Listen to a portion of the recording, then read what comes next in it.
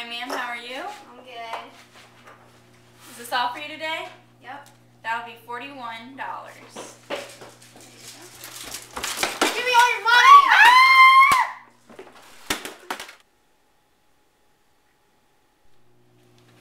Hi, ma'am. How are you? I'm Is good. all? Yep. All right, $30. Would you like a bag? No, thank you. All right.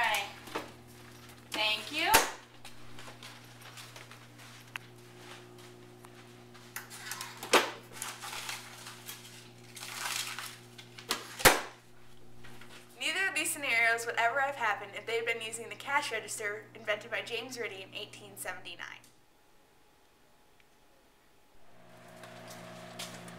Hi, ma'am. Is that all for you today? Yep. Your total is three thirty-three.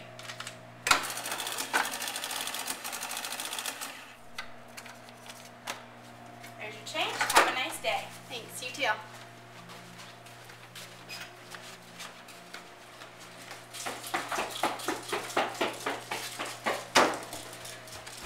Give me all your money!